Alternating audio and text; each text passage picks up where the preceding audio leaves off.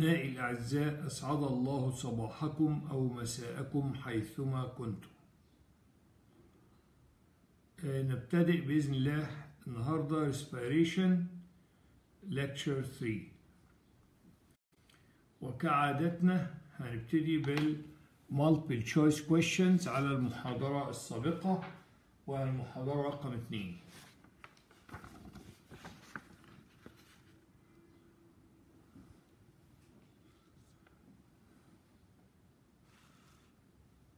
فاحنا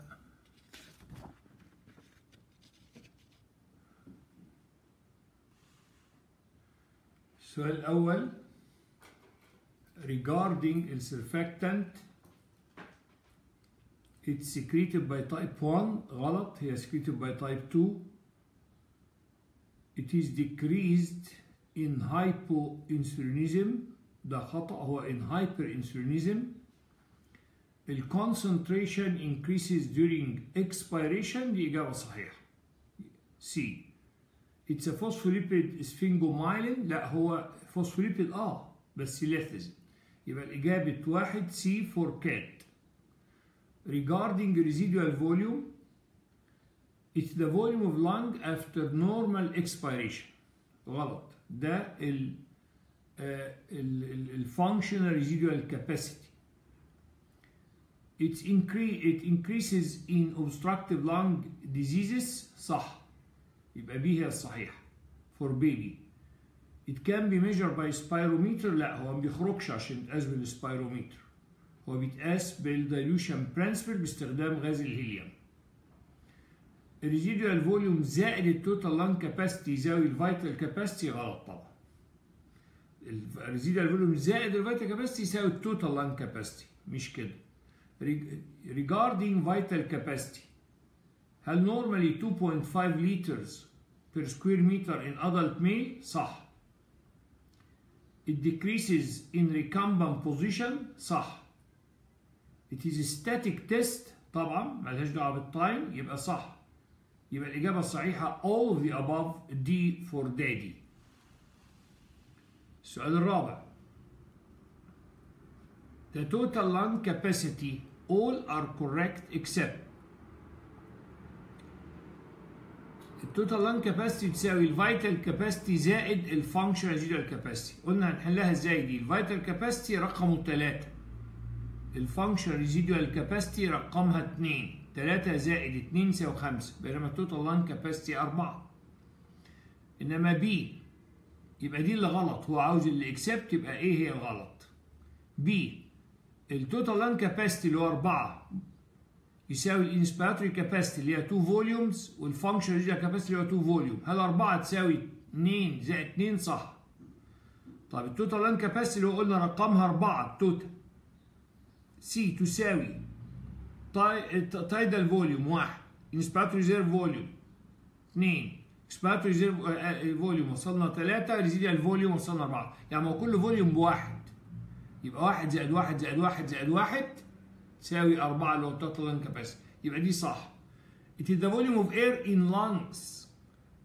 At the end of maximum inspiration صح برضه. يبقى الإجابة الخطأ A for alpha. إن ال total lung capacity اللي غلط هو ال vital ال total lung capacity هو رقمه 4 لا يساوي ال vital capacity اللي هي 3 زائد ال function اللي هي 2 لا يساوي 5 قلنا طريقة حل المسألة دي ومسألة مشهورة جدا Forced expiratory volume 1 normally 60% of the forced vital capacity لا هو normally 80% or more طيب الفورسد expiratory volume 1 to forced vital capacity الريشيو ما بين الفورسد expiratory volume 1 والفورسد vital capacity may be increased in restrictive lung diseases صح. يبقى B هي الإجابة الصحيحة B for baby وبعدين ال forced expiratory volume 1 to the forced vital capacity is more than 80 لا طبعا. هي آآ آآ لا الحقيقة دي يا أولاد برضو يعني تصلح إجابة صحيحة. يبقى هنا أنا آسف في إجابتين ممكن يبقوا صح B و C آه سوري سوري بقيت السؤال in obstructive lung diseases غلط هو it's more than 80% in obstructive lung disease دي خطأ وبعدين B none of the above is incorrect طبعا غلط لأن في correct اللي هو B يبقى الفورس expiratory volume 1 to the forced vital capacity is increased may be increased in restrictive lung diseases دي الصح لكن طبعا more than 80 ده normal آه بس not in obstructive lung diseases دي غلط يبقى عليه الصحيحة هو B for baby. ويبقى الإجابات 1 الإجابة الصحيحة C for cat 2 B for baby 3 D for daddy 4 A for alpha 5 B for baby. ده كع... يعني كعادتنا بنتكلم الامتحان. نتوكل الله ونبتدئ المحاضرة الثالثة. I hope ان resolution الحقيقة يعني آه لطيف جدا. كان بالأمس وأتمنى بالنهاردة برضه يكون نفس القصة. طيب إحنا قلنا عندنا الأول موضوع الأولاني هو ال dead space وده آه موضوع نظري مهم جدا. لازم تبقوا عارفينه كويس قوي. dead space ده من الموضوعات الهامة خالص. نبقى عارفينه فهنتكلم عليه في النقطة الأولانية ال definition قبل ما نقول definition عاوزك تبص معايا على الرسمة اللي قصادك من فضلك. إحنا قلنا يا أولاد إن ال ال ال ال لما بنقسم ال ال lungs كنا قسمناها إلى قسمين. قسمناها إلى أنا بس عاوز أشيل الأرقام دي لأنها تلخبطكم دي خاصة بشيء آخر. ال lungs عبارة عن conducting zones ما فيهاش alveoli بتنتهي عند عند ال terminal bronchioles و respiratory zones فيها alveoli بتبدأ عند ال respiratory bronchioles يبقى تاني. دي الرسمة اللي قصادنا أهي. إن بقسمنا في أول محاضرة ال lungs إلى قسمين. ال conducting zones with no alveoli بتنتهي عند ال respiratory bronchiole بتنتهي عند ال terminal bronchioles و pulmonary zones بتبتدئ عند ال respiratory bronchioles اذا ال conducting zones ما فيهاش alveoli إذا ال conducting zone حجم محسوب علينا وهو ما فيهوش تبادل غازات لأن ما فيش في alveoli. إذا فهو بالنسبة لنا dead space يبقى ال conducting zone بالنسبة لينا dead space لأنه هواء بناخده في منطقة ما بيحصلش فيها gas exchange لأن ما فيهاش alveoli.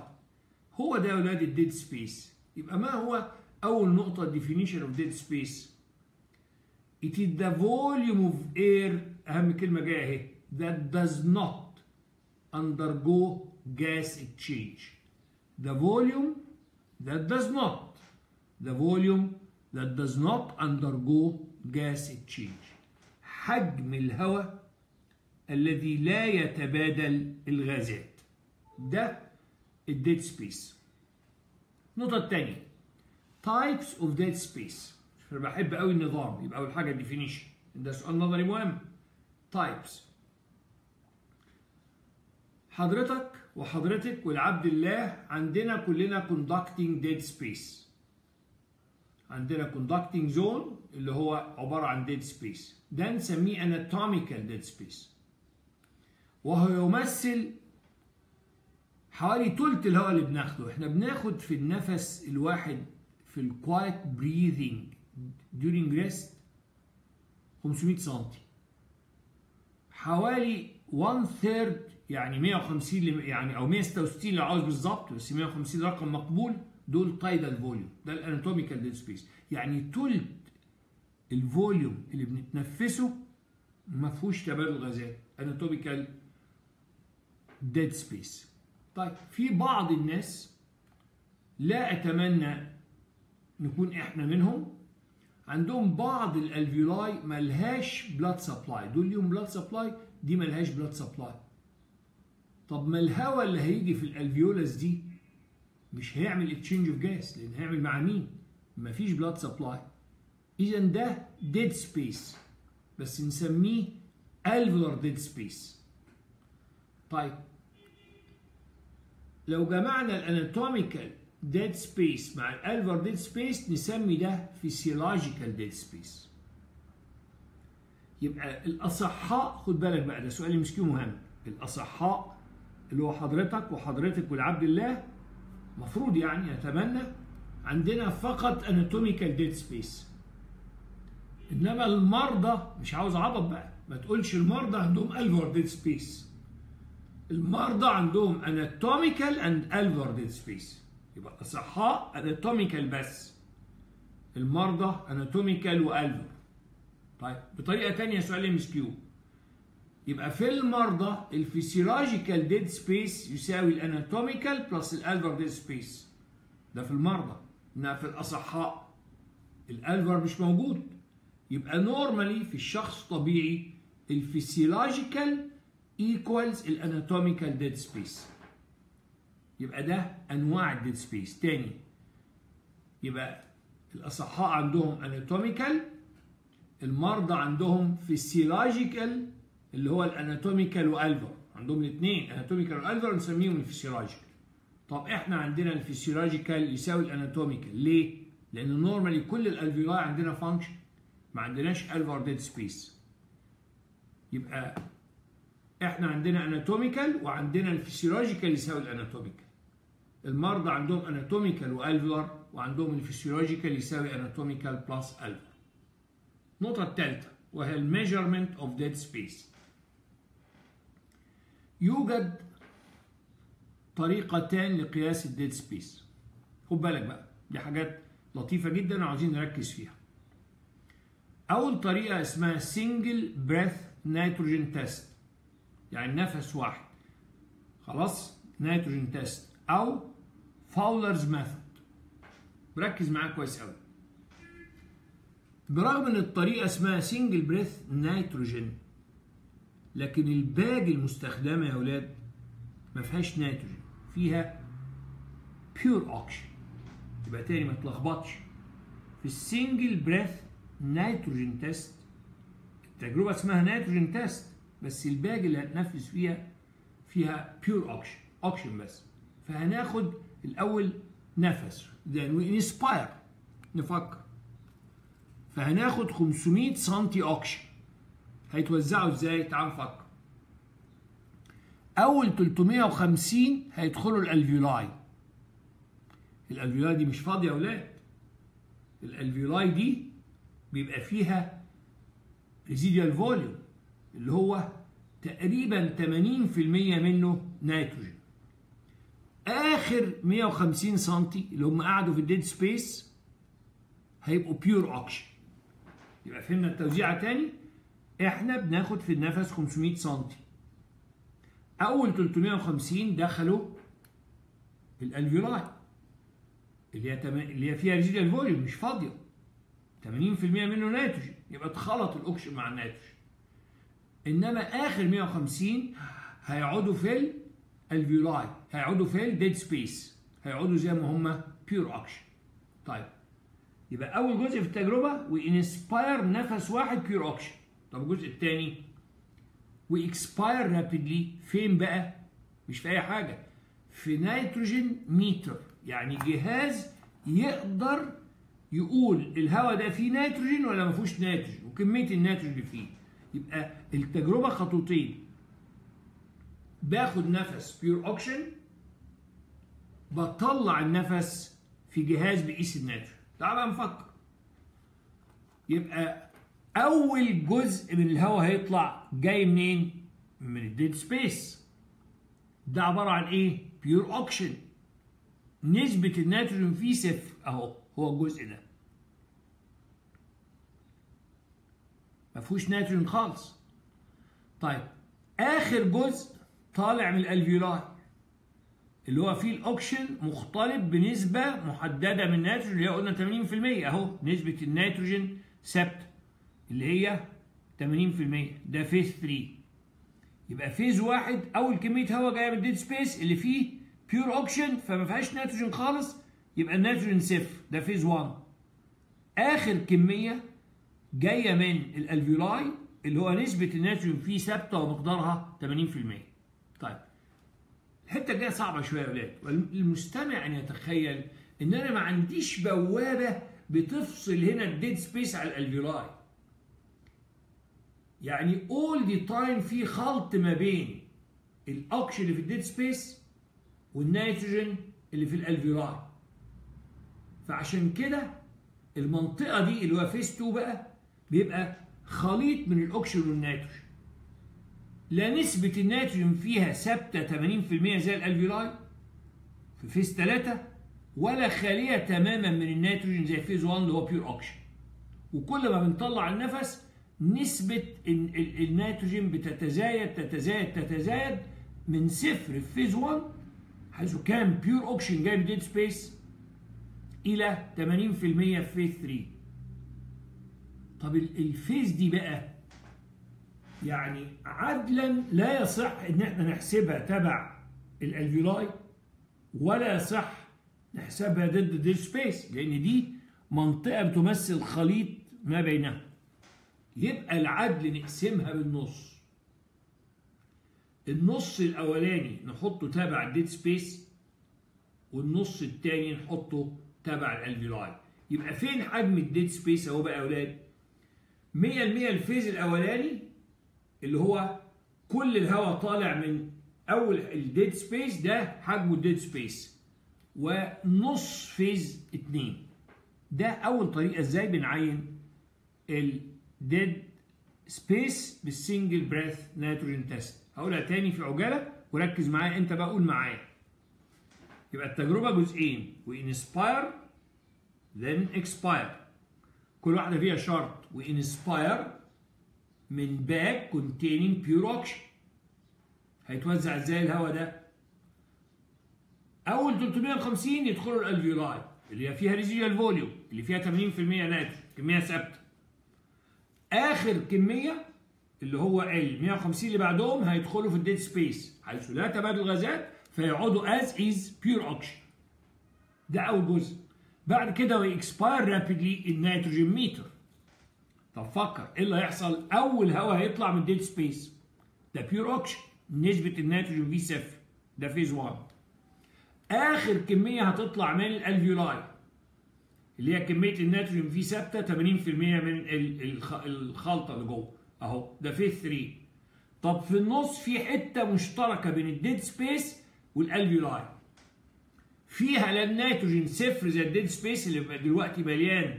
pure oxygen ولا 80% زي الهواء بتاع ال residual air إنما بيتزايد من صفر إلى 80% هي خليط ما بين الاثنين. هي منطقة مشتركة بين الاثنين.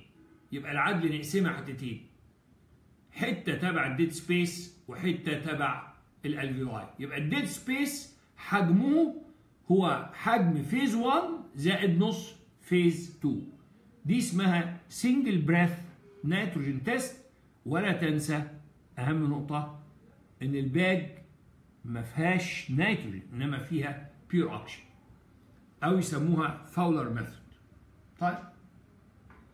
في طريقة تانية اسمها CO2 method أو Bohr's equation دي فكرة سهلة جدا وجميلة خالص. دلوقتي إحنا ال tidal volume يا ولاد.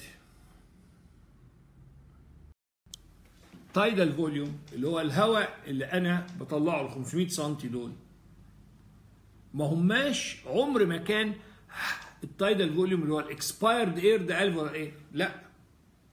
ال tidal volume ده خليط من ال dead space وال alveoli dead space و alveoli tidal volume اللي هو 500 سم ده خلطه ما بين 150 سم جايين من ال dead space و 350 جايين من ال alveoli طيب في ال dead space ده فيه ميزة مهمة جدا. إنه dead space مفيش gas exchange يعني لا بيتاخد منه اوكشن ولا يتحط عليه carbon dioxide normally الهواء اللي بناخده من الجو ده نسبة ال CO2 لا تذكر.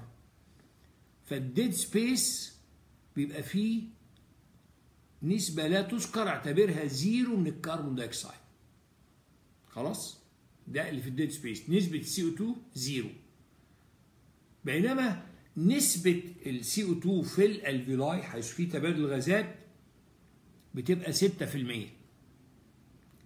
لما أجي أنا أحط ال dead space اللي هو ما فيهوش CO2 zero على 150 سم من ال dead space ما فيهاش سي أو 2 نسبة سي أو 2 زيرو احطها على 350 طالعين من ال alveoli اللي هي النسبة فيها 6% يبقى تتوقع يحصل إيه؟ عندك هواء فيه 6% حطيت عليه هواء ما فيهوش CO2 خالص يبقى النسبة تنخفض ولا ترتفع؟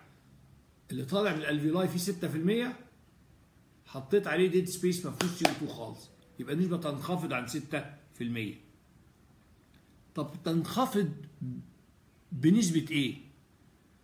بنسبة ال tidal volume إلى بنسبة ال dead space إلى ال tidal volume يعني كم في المئة يشكل ال dead space من ال tidal volume فلقينا حاجة لطيفة جدا ومش هتوهك في حسابات. تاني افهم القصة. إن ال tidal volume ده ال 500 سم بتوع ال volume expired ده ال 500 سم ده مش جاي من ال alveoli بس. ده alveoli و dead space ال alveoli نسبة ال CO2 فيها 6% ال dead space dead space ما فيهوش أي gas exchange نسبة CO2 فيه زي زي الهواء. الهواء normally ما فيهوش CO2 يذكر. إذا عاوز تعرف بالظبط بس يعني 4 من 100% 4 من 100% يعني أعتبرها zero يبقى هو ده ال tidal volume. ال tidal volume 500 سم دول اللي طالعين.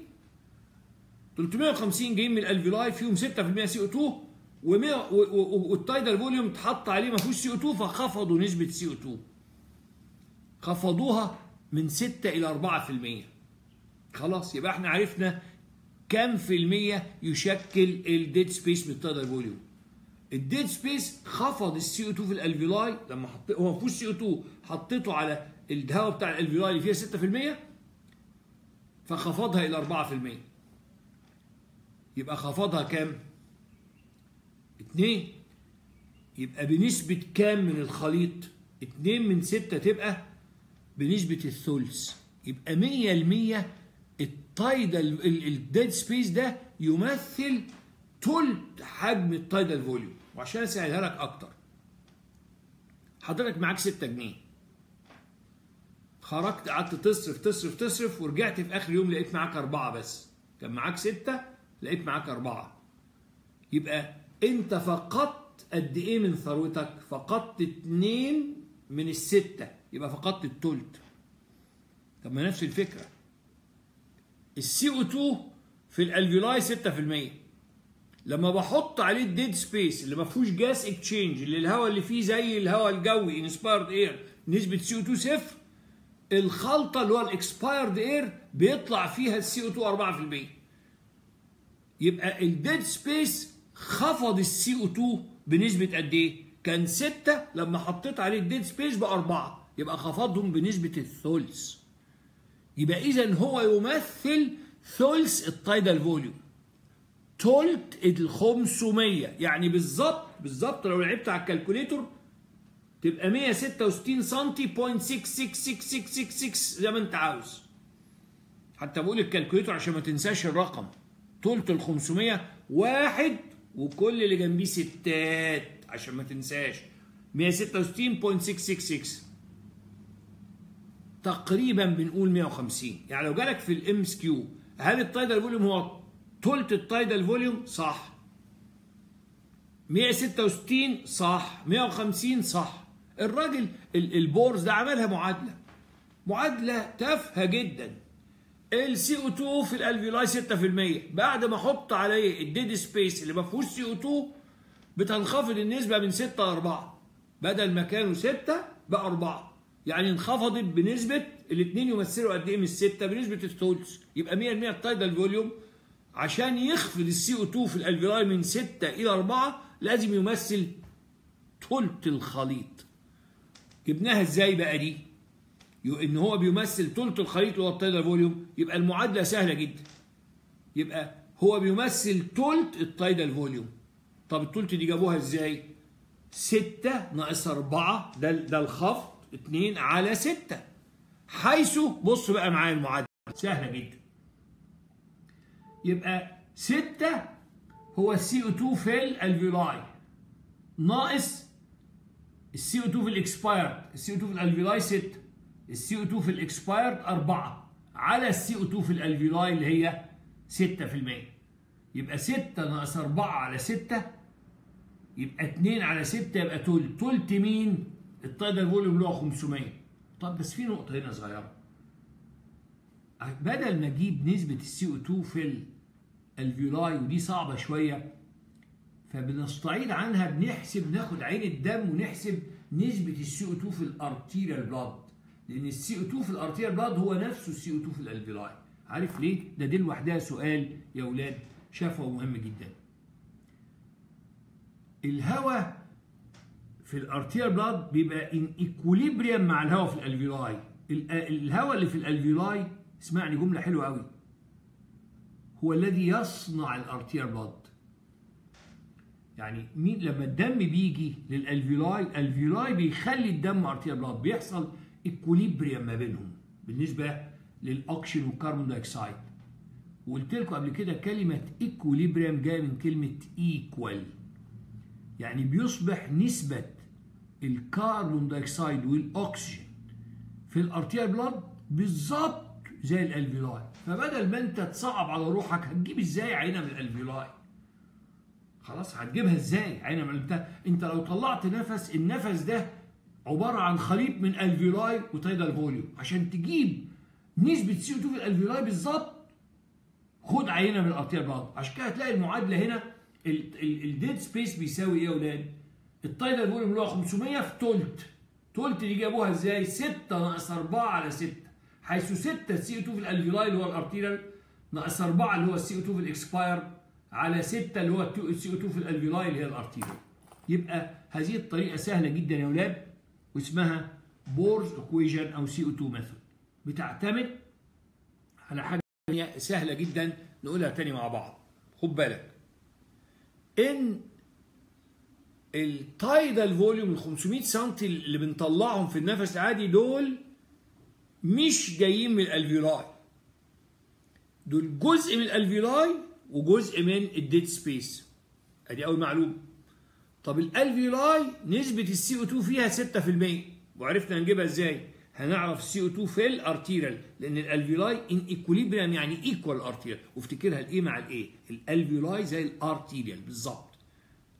طيب نسبة CO2 في ال alveoli 6% لما حطيت عليهم dead space مكان ما فيهوش أي exchange of gases ما بيتحطش عليه CO2 خفض النسبة من 6 لما جبنا ال CO2 في ال expired air لقيناها 4 يعني ال dead space خفض ال CO2 من 6 إلى 4 يبقى خفضوا بنسبة الثلث. يبقى 100% ال tidal volume ده بيمثل ثلث الخلطة اللي هو ثلث ال tidal volume يبقى ال Bohr's equation معادلة سهلة جدا. tidal volume في ثلث هو ثلث ال tidal volume طب ثلث دي جابوها إزاي؟ 6 ناقص 4 على 6 حيث 6 ال CO2 في ال alveoli 4 ال CO2 في ال expired air على 6 ال CO2 في ال alveoli. إحنا بدل ال alveoli هنجيب عينة إزاي من ال alveoli؟ صعبة جدا لأن الهواء اللي بيطلع لك ده مش طالع من ال alveoli ده alveoli dead space. جيبها عينة من ال arterial blood. ال arterial blood زي ال alveoli بالظبط لأن من صنع ال arterial blood؟ هو ال alveoli. دي اسمها Bohr's equation. أنا عارف إنكم ما بتحبوش المعادلات لكن هما طريقتين سهلين. وبقول لكم حاجة جميلة. إن طرق قياس ال dead space افتح دماغك معايا أسماء الغازات الرئيسية في الهواء. يعني في nitrogen method وال CO2 method حتى حاجة جميلة. تصور ال nitrogen method برغم إن اسمها nitrogen method إلا إن ال bag بتحتوي pure oxygen إحنا عندنا الثلاث حاجات الأساسية في الهواء إيه؟ oxygen و carbon dioxide و nitrogen هم دول في طرق قياس ال dead space عشان طريقة حلوة ما تنساهاش. يبقى nitrogen method و carbon dioxide method. nitrogen method و carbon dioxide method. وحتى ال nitrogen method ال bag ال bag لا تحتوي على نيتروجين إنما تحتوي على pure oxygen الأولانية اسمها Fowler method والثانيه اسمها Bohr's method أو equation والثانيه أسهل. العمر ما كان ال expired air ما هو alveoli بس اللي هو ال tidal volume ما هو إيه تعريف ال tidal volume ده؟ volume expired inspired or expired فال expired ده عبارة عن alveoli مع dead space ال alveoli فيها 6% dead space ما فيهوش. طب نسبة ده لده قد إيه؟ ده فيها 6% بعد ما خلطتهم بقى فيه 4 يبقى ال dead space اللي ما فيهوش CO2 خلط. بعد بقى خفض نسبة ال CO2 في ال alveoli من 6 ل 4 يعني نسبة التلت يبقى هو يمثل تلت الخلطة. تلت ال tidal volume طب اعملها معادلة. ال tidal volume في تلت تلت ده جبتها إزاي؟ انخفض من 6 إلى 4 يبقى 6 ناقص 4 على 6 حيث 6 ال alveoli 4 ال expired 6 ال alveoli انت مش عارف تجيب ال alveoli لأنها صعبة فبتجيب بدلها ال arterial أتمنى تبقى وضحت. طيب. نكمل. قول علمتكم حاجة جميلة بجد بعد أي measurement في الدنيا لازم تقول لي normal standard يعني ادام قلت measurement يبقى ال item اللي بعد normal standard ده ال item الرابع. عشان ما تتوهش يبقى اتكلمنا على ال definition اتكلمنا على ال types اتكلمنا على ال measurement النقطة الرابعة ال normal standard قلنا كل اللي هقوله مقبول. هو في الأساس تلت ال tidal volume يبقى لو قال لي إن ال dead space 1 third ال tidal volume صح طبعا 30% هي تقريبا 1 third يبقى صح. طب تلت ال 500 يبقى كام؟ الصح خالص يبقى 166.666 حتى قلت لكم واحد جربها على ال calculator وكل اللي واقفين جنبيه ستات عشان ما تنساهاش. 166 point لو قال لك 150 ملي لتر صح يبقى أي حاجة في الأربعة دي حسب الجامعة اللي أنت فيها تبقى صح. لو قال لك ال dead space أصح واحدة 1 third ال tidal volume اللي هي 30% اللي هي 166 اللي هي 150 تقريبا. كل ده صح. نيجي النقطة الخامسة والأخيرة ال significance of dead space يعني أهمية ال dead space يعني أنا عاوز أقول لك حاجة لطيفة قوي. كل شيء عند الله مستطاع ما كانش ممكن ربنا يبتدي ال alveoli من أول ال nose. طبعا ممكن. في alveoli من أول هنا. طب ليه ربنا بيمشي ال ال الهواء في ممر طويل قبل ما يدخل على ال delicate alveoli تعال نقول ال physiological importance وال clinical importance نبتدي بال physiological importance physiological importance هي كالآتي. وجود ال dead space هو ده اللي خلى فيه difference ما بين ال alveolar air وال expired air في ال composition وده اللي اعتمدنا عليه في ال CO2 method إن عمر ما كان ال expired air alveolar air لأن ال expired air ده مش جاي من ال alveoli بس ده خليط من الهواء اللي في ال alveoli والهواء اللي في ال dead space وقلنا ال dead space لم يحدث فيها تبادل غازات لا اتاخد منها اوكسجين فالاوكسجين عالي ولا اتحط عليها سي أو 2 فالسي أو 2 قليل. حتى شفنا الفرق إن كان ال CO2 في ال alveoli كام؟ فاكرين يا أولاد أرقام مهمة جدا 6% بعد إضافة ال dead ال dead space خفض ال CO2 في ال expired إلى 4% يبقى أول أهمية فيسيولوجيه إن وجود ال dead space خلى تركيب ال alveolar air نسب الاكسجين وال carbon dioxide في ال alveolar air مختلفة عن ال expired air. ليه؟ لأن ال expired عبارة عن alveolar ده dead space ال dead space ما اتخدش منه اوكسجين ما زال الاوكسجين عالي. ما تضافش عليه سي أو 2 ما زال السي أو 2 واطي. فلما تحطهم على ال alveolar air يبقى الخلطة أغنى في الاوكسجين وأفقر في CO2 وإحنا قلناها كانت هنا في 4% بس إنما هنا في 6 أدي أول طيب تاني physiological importance قلناها قبل كده يا ولاد. هو ليه ربنا بيمشي الهواء في ممر طويل قبل ما ندخله لل delicate alveoli نقولها في عجالة قلناها في أول محاضرة. أول حاجة قلنا إن to humidify humidification of inspired air لما قلنا قصة الكويت درجة حراره عالية جدا بتوصل فوق ال 50 ما أقدرش أجيب دواء درجة درجة حرارته هواء درجة حرارته فوق 50 وادخله على ال delicate alveoli فبعمل له ترتيب humidification قلنا في كندا درجة الحرارة بتبقى ناقص 20 أو ناقص 30 ما أقدرش أجيب هواء درجة حرارته ناقص 30 أو ناقص 20 وادخله على ال delicate alveoli يحصل لها freezing للدم. يبقى اعمل له warming وفي كل الدنيا بما فيها مصرنا العزيزة في تلوث. قلنا في القاهرة في أثينا أثينا نمرة واحد في أثينا في في التلوث بعديها القاهرة في ال pollution لازم نعمل filtration. يبقى تاني أهمية فسيولوجيه protective function إن الهواء لما بيمر في ال dead space بيحصل له ترطيب وتدفئة وتنقية. طب التنقية هي الأهم فنهتم بيها. ال particles هناخد ال particles اللي موجودة في الهواء هنتخلص منها إزاي؟ الأول أنا عاوز أديك ال principle كل ما كانت الحاجة كبيرة يبقى مسكها أسرع. يعني لما أقول لك امسك حاجة كبيرة أسهل إنك تمسك حاجة صغيرة. وكذا في ال respiratory system ال particles الجزيئات اللي أكبر من 10 microns ده كبيرة قوي دي. دي بتتمسك على طول في ال nose بالشعر اللي في ال nose ال hair والمخاط ال mucus. طب من 2 ل 6 microns؟ لا ما بتلحقهاش في ال nose بتلحقها في ال upper airway طيب أو في ال lower airway في ال upper airway بتتمسك بال mucosa. طب ولو نزلت شوية في ال lower airway فاكر ال escalator ال cilia اللي هي بتشتغل زي السلم الكهربائي.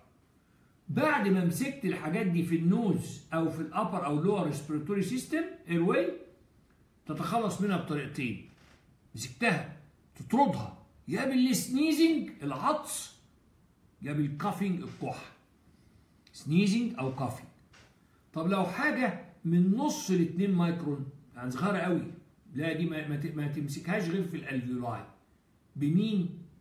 بال phagocytic cells بتاعت ال alveoli تلتهمها اللي هي يسموها dust cells طب لو حاجة أقل من نص مايكرون ما عمرك ما تعرف تمسكها. حتى بقولها بطريقة كده يعني بتقعد داخلة خارجة داخلة خارجة في ال air. أنت تتفرج عليها بس عمال تشوفها بس. داخل أنت مش شايف طبعا من نص مايكرون مش هتشوفها. بس بقول ما تمسكهاش خالص. يبقى لو حاجة أكبر من 10 تمسكها في ال nose. حاجة من 2 ل 6 بتمسكها في ال upper respiratory أو ال lower respiratory system حاجة تحت كده من من نص لاثنين تمسكها في ال alveoli تحت نص ما تمسكهاش خالص تقعد خارجة داخلة تتفرج عليها بس. اللي هتمسكه في ال nose وال upper وال lower respiratory system هتشم هتطلعه بال sneezing أو كحن coughing اللي هو كحة. تمام؟ اللي دخل ال alveoli بال phagocytic cells اللي اسمها dust cells التانيين أقل من نص بتتفرج عليهم. يبقى أول أهمية فسيولوجيه إن وجود ال dead space خلى تركيب ال expired مختلف عن تركيب ال alveolar لأنه اتحط عليه ال dead space اللي ما فيهوش سي أو 2 فنسبة سي أو 2 هنا أقل 4 هنا 6 وما اتاخدش منه اوكسجين فنسبة الاوكسجين أعلى في ال expired منه في ال alveoli تاني importance ال protective function تالت أهمية بقى يا أولاد عشان إحنا دكاترة هي الأهمية الكلينيكية. إن وجود ال dead space عمل difference ما بين ال alveolar ventilation وال pulmonary ventilation دلوقتي أنا عاوز أشرحها لكم يعني إيه pulmonary ventilation ويعني إيه alveolar ventilation pulmonary ventilation يعني حجم الهواء اللي بتاخده افتح ودنك في الدقيقة. طب ده احسبه إزاي؟ اللي باخده في النفس الواحد اللي هو ال tidal volume 500 سم نص لتر. في عدد مرات التنفس في الدقيقة اللي هو قلنا تقريبا من 10 ل 12 خليها 12 يبقى لو عاوز أحسب ال pulmonary ventilation أنا باخد في الدقيقة قد إيه؟ بضرب حاجتين في بعض. اللي باخده في النفس نص لتر في عدد مرات الأنفاس في الدقيقة اللي هم 12 نص في 12 يبقى 6 لتر. ده مين ده يا ولاد؟ ده ال pulmonary ventilation وهي مكتوبة قصادنا. في الشخص الطبيعي في ال eupnea يعني في النفس الطبيعي ال respiratory rate 12 نفس 12 مرة في الدقيقة في المرة بناخد نص لتر 500 سم يبقى ال pulmonary ventilation نص في 12 يبقى 6 لتر. أمال إيه ال alveolar ventilation إحنا قلنا أنا ما بستفادش بالنص لتر. مش كل النص النص لتر بيعمل تبادل غازات. أنا اللي بيعمل تبادل غازات هو اللي دخل ال alveoli بس. يبقى هو ال tidal volume مطروح منه مطروح منه ال dead space أهو. وده الأهم. ال alveolar ventilation هو حجم الهواء اللي بتبادل معاه. مش مش كل ال tidal volume بتبادل معاه مش كل 500 فيهم 150 محسوبين عليا غلط. dead space حجم ميت في ال conducting zone يبقى أضرب ال respiratory rate مش بقى في ال tidal volume في ال tidal volume ناقص ال dead space. طب تعالى في في ال eupnea النفس الطبيعي. فإحنا الشخص بياخد 12 نفس. تمام؟ حلو خالص. في كام بقى ما بيستفادش من 500 500 ناقص 150 تبقى 300 خليها 150 عشان حساب يبقى أسهل. يبقى 500 ناقص 150 يبقى اللي بيدخل alveoli 350 12 مرة في الدقيقة. تضرب 350 في 12 هيطلع 4200 سم أو تقريبا 4.2 لتر. يبقى خدت بالك بقى؟ ال alveolar ventilation أقل من ال pulmonary ventilation أنت فاهم ليه؟ لأن مش كل النفس ال tidal volume اللي بتاخده بيدخل في ال alveoli في ال dead space ما بيدخلش. تعال بقى في الأمراض التي تؤدي في الطب ال shallow rapid breathing أو الأدوية. في عندنا أمراض في الطب وفي أدوية تعمل rapid breathing نفس ضحل وسريع. فسريع. ففرض إن الشخص هيتنفس 30 مرة يا سيدي مش 12 بس rapid لكن بياخد بدل 500 سم 200 تعال احسب ال pulmonary ventilation في الحالة دي. اللي بياخده.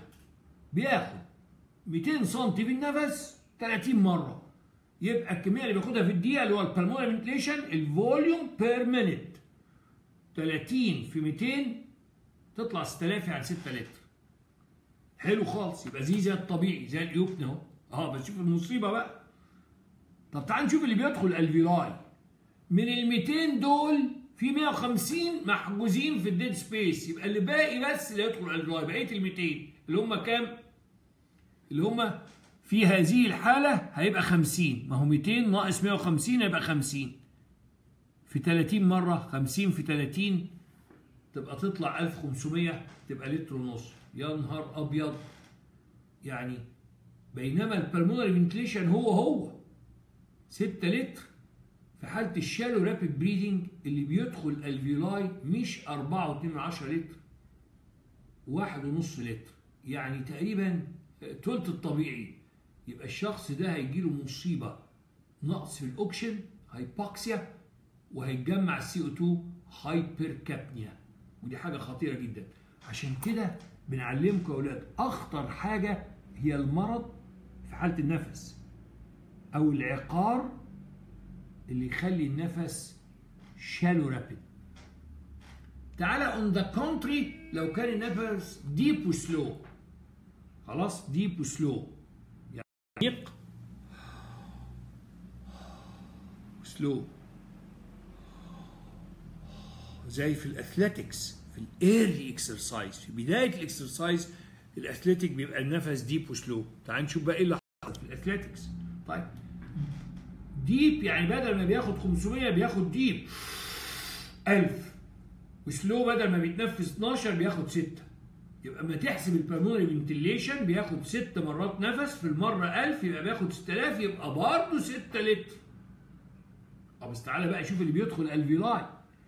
من ال 1000 ال dead دول هيدخل alveoli قد إيه؟ اخصم منهم 150 يبقى 1000 ناقص 150 يبقى 850 هيدخلوا في اضربهم في 6 تلاقي إن اللي دخل 5100 سم يعني 5 واحد من 10 لتر. يعني even أحسن من الشخص ال normal. ال normal اللي بيدخل عنده ال alveoli 4.2 اللي هو المهم. الكلام ده بيحدث فين؟ في ال athletes في ال light exercise. في ال athletics في ال light حتى ناقصة كلمة exercise. ده الأهمية الإكلينيكية لل dead space. وده يا أولاد واحد من أهم الأسئلة عندنا في respiration ال dead space تعالى بقى نجمعه في عجالة تاني. نشوف الخمس نقاط بتوع ال dead space. ال أنا عارف إن تقدروا تراجعوه بس يعني في عجالة نقوله برضو ال dead space الكلمات المتعلقة بيه. يبقى أول حاجة ال definition. قلنا حضرتك ال 500 سم 350 بيدخلوا ال alveoli وال conducting zone بيبقى فيها 150 ما فيهمش أي استفادة. يبقى ما هو ال definition؟ The volume of air هنفر الكلمة المهمة؟ that does not the volume that does not the volume that does not under undergo gas change النقطة الثانية ال types الأصحاء عندهم كلنا والمرضى عندنا conducting zones عندنا anatomical يبقى الأصحاء والمرضى عندهم anatomical المرضى as well بالإضافة ال anatomical عندهم بعض ال alveoli non function تبقى alveolar ده النوع الثاني طب ما هو ال physiological dead space anatomical زائد alveolar طب في الأصحاء إحنا كل ال alveoli functioning يبقى ال alveolar dead space صفر ال alveoli كلها شغالة مفيش alveolar dead space يبقى في الأصحاء ال physiological يساوي ال anatomical النقطه الثالثه ال measurement. قلت لك عشان تفتكر الطرق. اسم غازين موجودين في الجو. حتى عاملها لك باللون الأحمر أهي. اللي هو nitrogen method وال carbon dioxide method. أهي قاعدين موضحها لك. وبرغم ان الطريقة اسمها nitrogen method لكن الغاز المستخدم في ال bag pure oxygen يبقى كأن الثلاث غازات موجودين في الطرق. nitrogen method و CO2 method. ال nitrogen method بنسميها Fowler method وال CO2 method بنسميها مش method. Bohr's equation احسن طيب نيجي بعد كده النقطة الرابعة ال normal standard قلنا حسب الجامعة اللي انت فيها لو قال لك تلت ال tidal volume صح 30% من ال tidal volume صح طب تلت ال 500 أبو كام؟ الصح قوي قوي 166 و6 من 10 أو 6 دايرة على رأيهم المثل 0.666 166 أو لسهولة الحساب 150 النقطة الخامسة والأخيرة يا أولاد ال significance of dead space. في أهميات فسيولوجية اللي هي إن وجود ال dead space هو اللي خلى تركيب ال alveolar مختلف عن ال expired. لأن ال expired air عبارة عن alveolar مضاف إليه dead space اللي هو أغنى في الأكسجين وأفقر في CO2. تاني نقطة فسيولوجية protective function إنه ال dead space بيعمل عملية ترطيب وتدفئة وتنقية واتكلمنا على الحتة دي ساعات بعض الناس اللي ملهاش قيمة يقعدوا يسألوا. الفكرة سهلة جدا. كل ما ال particles اكبر تتمسك أسهل. أكتر من 10 في ال nose 2 ل 6 في ال upper وال lower respiratory system أو airways أقل من من نص لاثنين تتمسك تحت خالص في ال alveoli بال dust cells. أقل من نص ما تمسكش خالص. ثم الأهمية الإكلينيكية دي اللي تهمك جدا. إن وجود الديد سبيس عمل لي حاجة جديدة اسمها الفر فنتليشن يعني في هواء بناخده وفي هواء يدخل الالفيولاي اللي ناخده اسمه بالمونري فنتليشن اللي بتاخده رئه بالمونري اللي هو تضرب كده. اللي بتاخده في عدم مرض تنفس. اللي هو التايدال فوليوم في الريسبيراتوري اللون الأسود. لكن مش ده المهم. المهم اللي بيدخل ال alveoli هو ده اللي انت بتنتفع بيه. يبقى لازم تشيل من ال tidal volume ال dead space تلاقي في الثلاث أمثلة اللي خدناهم ال pulmonary ventilation اللي هو ملوش قيمة 6 لتر فيهم كلهم. بينما في ال alveolar ventilation في ال shallow rapid breathing قل جدا وفي ال deep slow زاد. ده حاجة وحشة وده حاجة حلوة. حتى أقولها لك بطريقة سهلة جدا يا من غير حسابات إيه عيب ال shallow rapid breathing لو أنا آخد نفس shallow rapid يعني سريع وفي نفس الوقت ضح. اهي هوريها لك. ال normal breathing بيدخل ال alveoli هنا ال alveoli لكن لما أعمل shallow rapid بيبقى التهوية كلها على مستوى ال dead space مفيش حاجة بتدخل ال alveoli فبيحصل severe hypoxia نقص في الاكسجين زيادة في CO2 من غير حساب. ال shallow shallow rapid أنت عمال تهوي ال dead space بينما التنفس الطبيعي بيدخل alveoli طبعا أحسن منه بقى في ال athletics ال deep slow.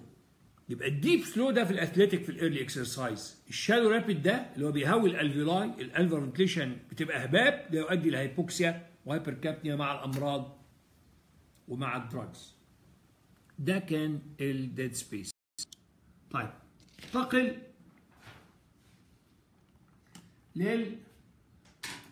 للموضوع الثاني وده عاوزك تركز معايا فيه بقى كويس قوي قوي. ليه ثلاث عناوين؟ Elastic properties of lungs أو lung compliance. Compliance يعني طواعية. يعني أقول you are a compliant student. أنت طالب مطيع. أو عنوان ثالث pressure volume relationship. يعني بيتكتب في الكتب المختلفة ثلاث عناوين. Elastic properties هي طواعية الرئة lung compliance هي ال pressure volume relationship وببتدي ببداية طفولية يا أولاد فبقول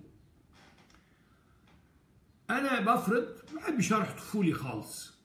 عندي بالونة وعندي صندوق خشب. حلو كده؟ هدخل في كليهما نفس حجم الهواء لتر هواء. 1000 سنتي هواء وهشوف البريشر هيزيد في ايهما أكثر. ففي الصندوق الخشب لأنه ما عندوش elastic properties مش مرن ما بيطوعنيش ما بيتسعش فالضغط فرضته إنه زاد 10 سنتيمتر water pressure بينما البالونة لأنها الاستيك لأنها بتطوعني compliant بتوسع فما وسعت الضغط ما زادش قوي زاد فقط ل 5 سنتيمتر water pressure طيب عرفنا إزاي إن دي ما بتوسعش ودي وسعت كويس. حسبنا ال ratio ما بين التغير في الحجم اللي هو 1000 سم والتغير في الضغط. ال ratio ما بين ال change في ال volume وال change in pressure في حالة الصندوق حطيت 1000 وال pressure زاد 10 يبقى 1000 على 10 فيبقى زاد هنا فقط كام بقى يا أولاد؟ زاد 100 مليلتر لكل سنتيمتر water pressure ما هو ال 1000 زودوا 10 سنتيمتر water pressure 1000 على 10 تبقى 100 مليلتر لكل سنتيمتر water pressure بينما في البالونة لأنها اتسعت ما زادش ال pressure قوي زاد لخمسة بس. ف 1000 على 5 فالزيادة كانت 200 مليلتر لكل سنتيمتر water pressure فقلنا ال ratio أحسن في حالة ال lung. ليه؟ لأن ال lung بتوسع. فممكن شوف أقولها بطريقة سهلة جدا. لأنها بتوسع ممكن أحط حجم كبير بتغير صغير في ال pressure حجم كبير بتغير صغير في ال pressure إنها بتوسع. يبقى ال ratio تطلع إيه؟ عالية. بينما الصندوق ما بيوسعش. تحط نفس الحجم لكن ال pressure يجيك جامد اللي ما وسعش يبقى ال ratio تطلع إيه؟ قليلة. يبقى ال ratio دي بتقيس لي قابلية اتساع الشيء. هو ده ال compliance هفصلها لك بطريقة رائعة. What's compliance والطلبة يقول لي بنسمع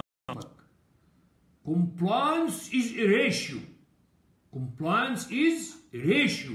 between change in volume to change in pressure طلبة بيذكروني كنا بيقولوا لي احنا الكروناكسي حافظينها كروناكسي is a time Chronaxis is a time needed by double derivates. طب compliance اوعى تنساها بقى هتسمع صوتي في الامتحان. Compliance is a ratio.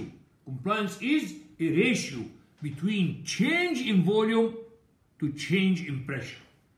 كل ما ال ratio ده طلع أكبر يبقى الحاجة دي قابلة للاتساع وفهمتها لك بطريقة طفولية ليه؟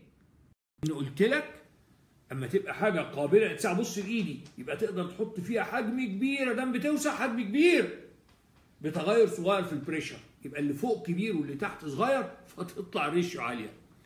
يبقى ال compliance بتقيس قابلية اتساع الرئة. ممكن يجيب لي بقى ال definition بطريقة ثانية في ال MCQ هو عبارة عن ال volume change لكل unit pressure change يعني هنا بقدر أحط 200 سم وال pressure يزيد سنتيمتر water pressure بس. إنما هنا لما أقسم 1000 على 10 أقدر أحط 100 سم بس ويحدث نفس الزياده في ال pressure اللي هي سنتيمتر water pressure يبقى ال compliance في ال MCQ الاثنين تجاوبهم صح. It's ratio between change in volume to change in pressure. دي واحدة أو أو it is the volume change for each unit pressure change. The volume change for each unit pressure change. كل ما كان تقدر تحط volume أكبر بنفس التغير في ال pressure يبقى الحاجة دي بتوسع. سهلة. يبقى دي أول حاجة اتعلمناها على ال compliance تاني معلومة بقى. لما حضرتك بتقول it's ratio between change in volume to change in pressure. أنهي pressure وخدناه في المحاضرة الأولى هو اللي بيوسع الرئة. قلنا الرئة ممكن تتسع من جراء. نزود ال pressure inside اللي هو ال alveolar pressure أو ننقص ال pressure outside اللي هو ال pleural pressure وقلت لكم للأوائل لا هو لازم تعمل اثنين لازم اللي با... اللي جوه يزيد على اللي بره. لما حكيت لكم قصة البالونة. واحد بينفخ بالونة يبقى بيزود pressure جوه وأنا ضاغط له عليها من بره. مش هتتسع. يبقى إمتى البالونة الأوائل تتسع؟ مش لو اللي جوه زاد أو اللي بره قل. لازم الاثنين مع بعض. لازم جوه يزيد عن بره. لأن أنت بتزود جوه هو وأنا لك عليها من بره. مش هتتسع. يبقى ال distending pressure حتى احفظها لكم بطريقة جميلة. تاني اهو ال distending pressure هو ال difference between the inside and the outside يبقى اما يسألك مين هو ال distending pressure هتسمعها دي أنا قلتها لك. The distending pressure هو difference in pressure between inside and outside. قالوها في كلمة واحدة transmural اللي هو عبر الجدار. ال mural يعني جدار transmural يعني عبر الجدار اللي هو في حالة الرئة هيبقى إيه؟ transpulmonary اللي هو alveolar ناقص pleural دي المعلومة الثانية طيب المعلومة الثالثه بقى خد بقى في كل معلومات MCQ زي الرصاص ومن أهم المواضيع برضه ده ال compliance يبقى كل ما ال ratio دي طلعت عالية معناها إيه يا أولاد؟ معناها إن الرئة قابلة للاتساع. يبقى عشان كده ال compliance النقطة الثالثه is measure of distensibility قابلية اتساع بنفس المعنى في ال MCQ صح؟ expansibility. يبقى distensibility أو expansibility. خد بالك بقى اللي بعديها مهمه قوي. But not elasticity. ليه؟ ال compliance يا أولاد عاوزة توسع قابلية الاتساع بينما ال elasticity عاوزة تصغر. ال compliance عكس ال elasticity أهي. ده reverse بس it's not a measure of elasticity. It's a measure of expansibility or distensibility but not elasticity. ال compliance عاوزة توسع بينما ال distensibility آسف ال elasticity عاوزة تصغر. وفي حاجة ثانية عاوزة تصغر اللي هي tension طب أنا عاوز أقول لكم حاجة لطيفة. مش كل حاجة الاستيك قابلة للإتساع. دي نقطة مهمة جدا. مش كل حاجة. يعني هديك مثال جميل خالص أهو هحطه لك دلوقتي. نبص مع بعض. اللي هو ال RBCs. إيه رأيك أنا برسمه اهو دلوقتي واحطها لك قصادك على على الشاشة.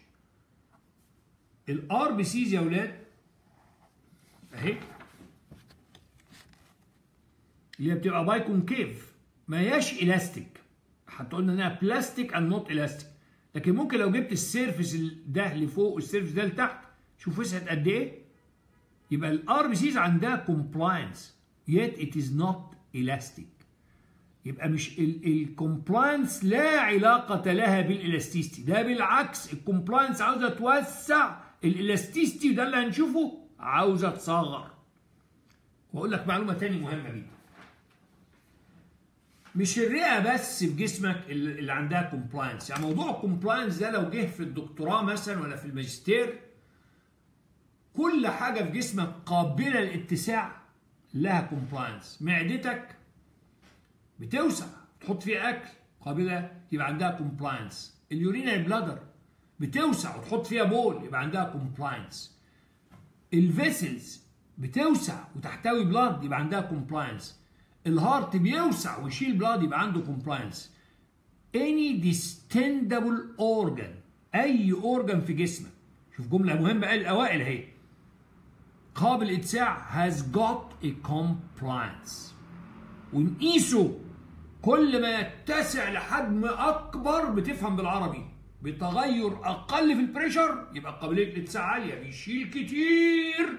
وال pressure ما يزيدش قوي يبقى قابل للاتساع عشان كده ال compliance is measure of distensibility أو expansibility قلت لك بعد ال measurement تجيب لي ال normal إيه standard تفتكر إحنا عندنا لما بنتنفس في حاجتين بيوسعوا ال lung وال chest wall لو خدت طلعت ال lung لوحديها وال chest wall لوحده تلاقي قابليتهم للاتساع أكتر من من هما الاثنين مع بعض ال lung وال chest wall يعني إحنا في الحقيقة مين اللي بيوسع؟ ال lung وال chest wall مع بعض.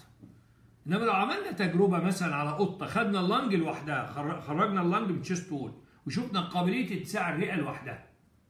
اللي خرجناها بره وال chest wall لوحده بعد ما خرجنا منه ال lung هتلاقيها طبعا أكبر من ال lung وال chest wall مع بعض. فأنا حتى المثال اللي قلته يا أولاد اخترت الأعداد عشان يطلع ال normal standard. ال normal compliance of lungs وده الأهم أهم من ال chest wall هما الاثنين زي بعض. 200 مللي لكل سنتيمتر water pressure يعني لو باللتر لو جابها لك يبقى 2 من 10 لتر. ما هو 200 سم 2 من 10 لتر لكل سنتيمتر water pressure بينما إنك توسع الرئة وال chest wall مع بعض مع بعض 100% أصعب من واحدة لوحدهم. فبيطلع 100 مللي لكل سنتيمتر water pressure هتقول لك حسبوها إزاي؟ إن ال lung واحد على 200 وال chest wall واحد على 200 طب لما تاخد ال lung وال chest wall يبقى 2 على 200 تبقى 1 على 100 وبحفظها لأجيال بطريقة رائعة.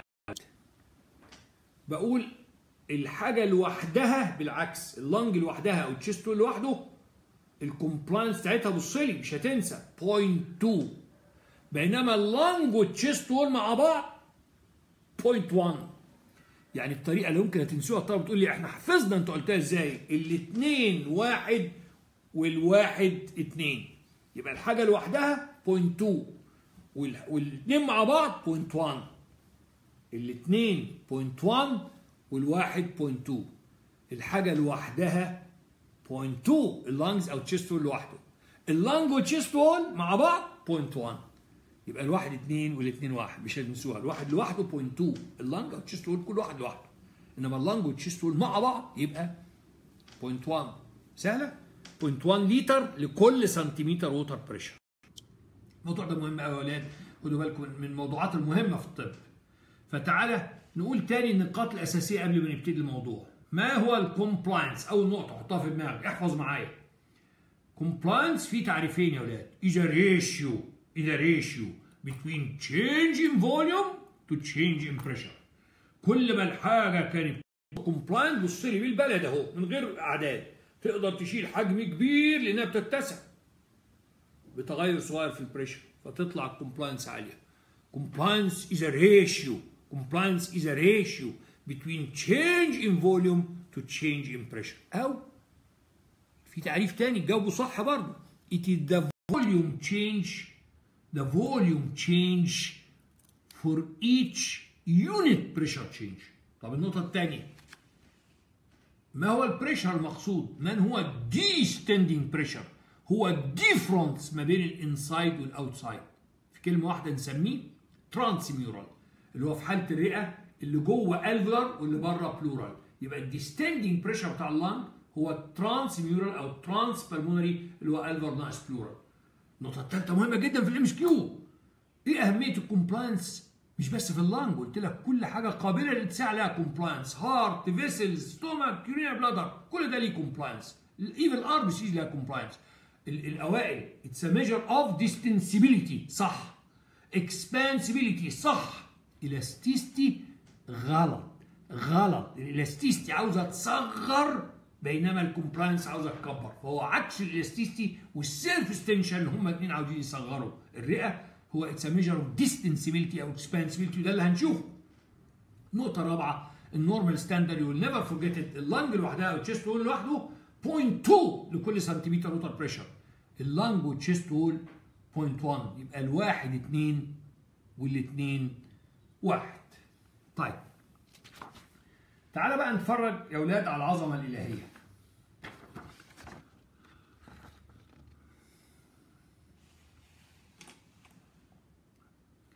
هناخد تجربة جميلة excised lung يعني هنجيب قطة ونطلع منها ال lungs بره.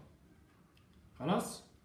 وندرس ال compliance يعني نغير ال pressure in steps ونشوف التغير في ال volume وده الجهاز يا ولاد أهو تبقى عارف شكله. يعني أدي ال lung بتاعت القطة أهي. وبعدين ده يمثل ال jar ده يمثل ال chest wall بنسحب هواء فده بي create هنا negative pressure زي ال pleural pressure فالحاجة توسع فال lung توسع. وفي كل مرة بنقيس التغير في ال pressure هنا والتغير في ال volume ما هو إحنا ratio هنرسم curve ما بين التغير في ال volume ال volume زاد قد إيه وال pressure اتغير قد إيه. ده الجهاز. يبقى بالظبط خدنا ده الرئة بتاعت ال cat بتاعت القطة اكسايز يعني قطعناها وطلعناها بره. حطيناها في ال chest حاجة تماثل ال chest wall هو jar.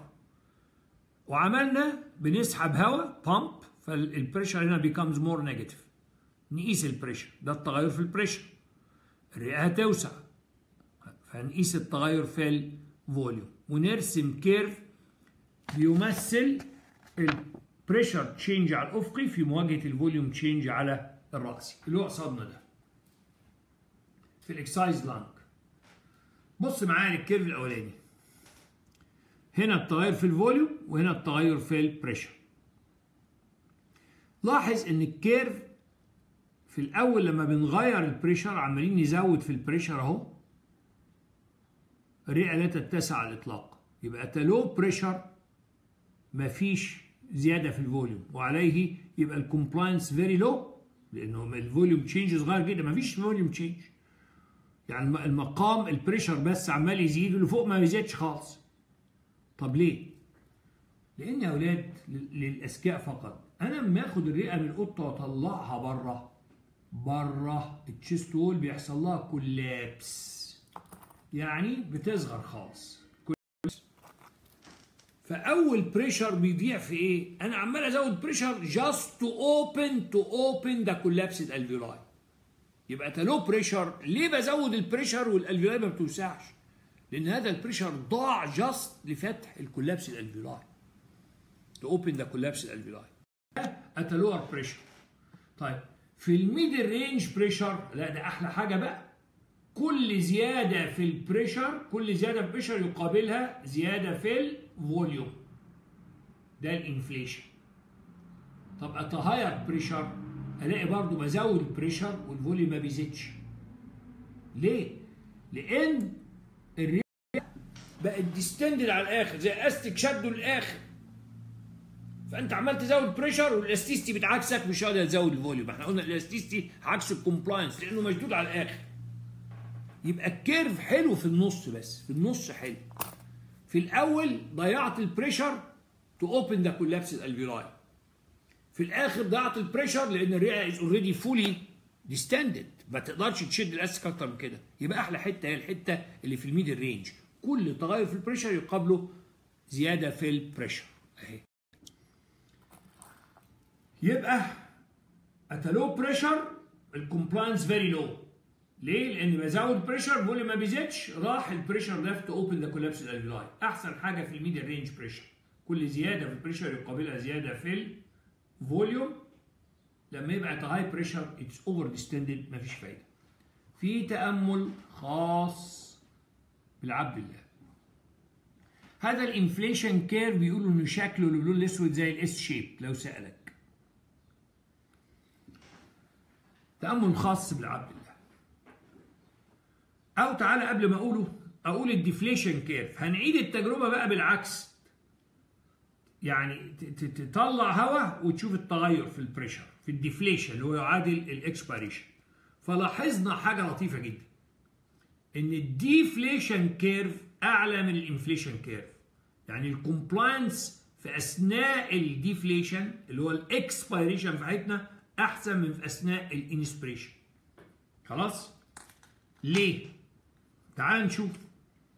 أنا هكتبها لك معلش هستأذن اخدها منكم ثانية وأكتب لك السبب في عجالة كده. إحنا قلنا إن ال compliance عاوزة توسع يا أولاد. وكام حاجة عاوزة تضيق؟ اتنين الرئة عاوزة تصغر بال elasticity والأهم منها إيه بقى؟ فاكرين؟ surface tension surface tension طيب. في أثناء ال خلاص؟ ال surface tension بيحصل له إيه؟ قلنا تركيز ال surfactant بيزيد فال surface tension يقل. وعليه ال compliance تزيد. ال surface tension يقل فال compliance تزيد.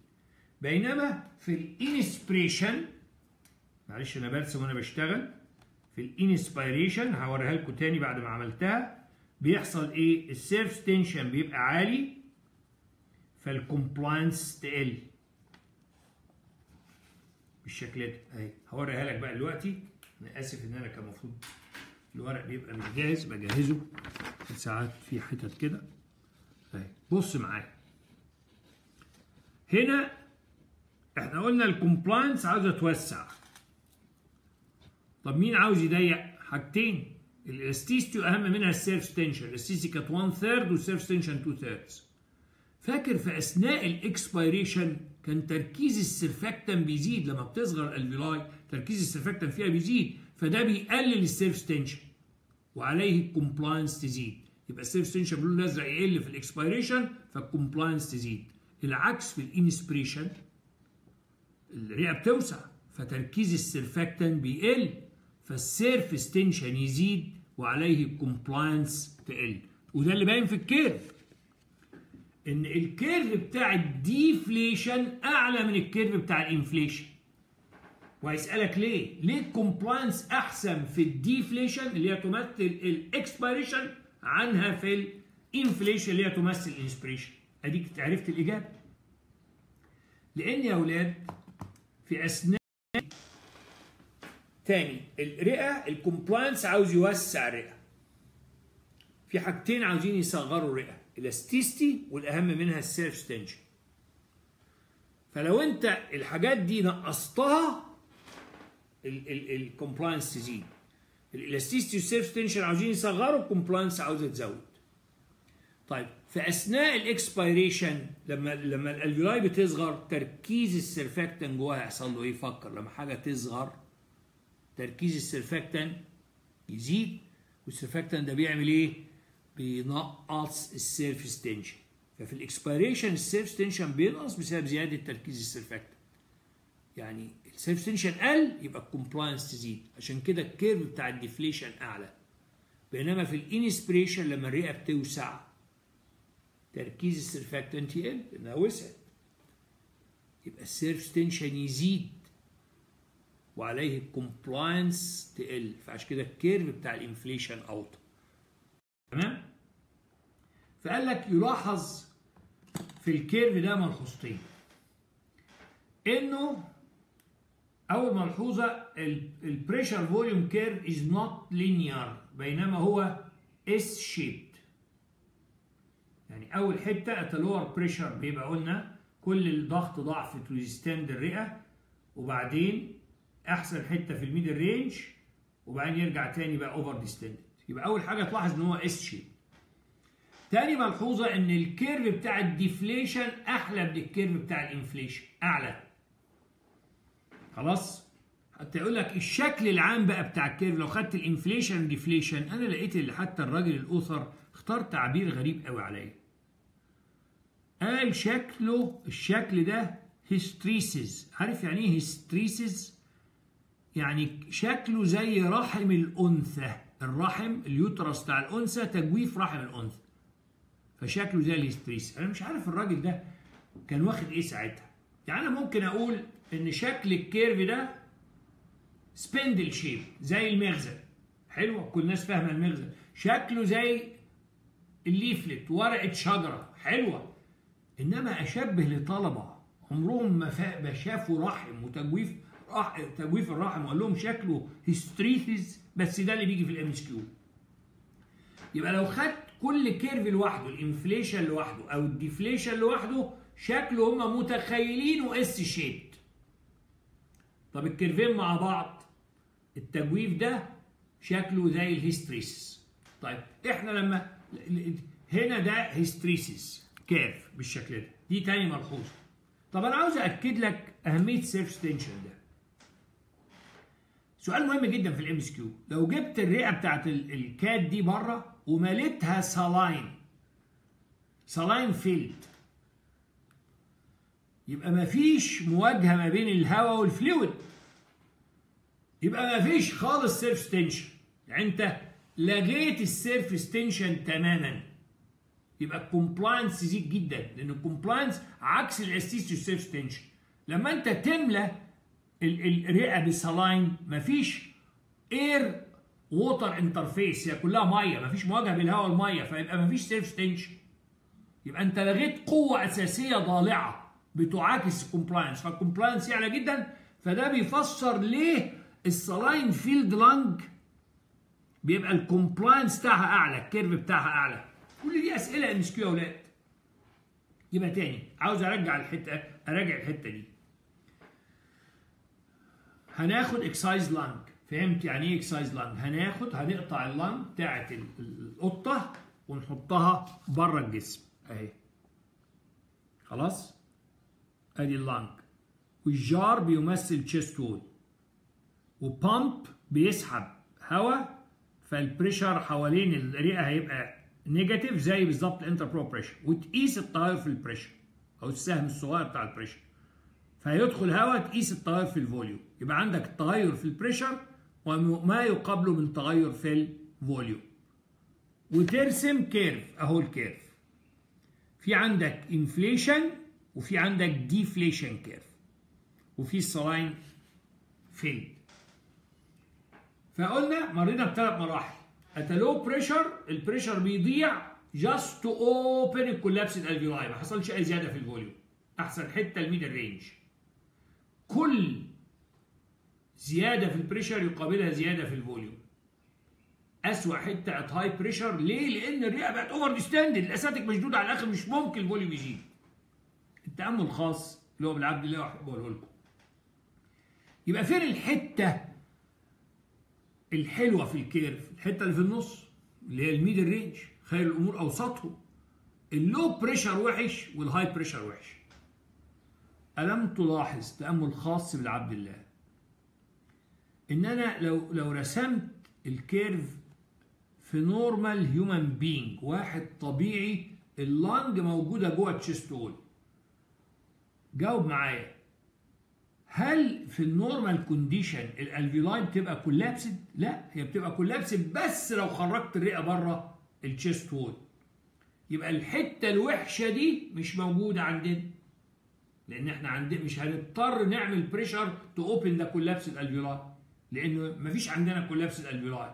طب وبسبب ال chest wall بيمنع الرئة إنها توسع جدا لدرجة إنك أنت من كتر ما هي مشدودة ال pressure بيزيد وال volume ما يزيدش. يبقى الحتة دي مش موجودة.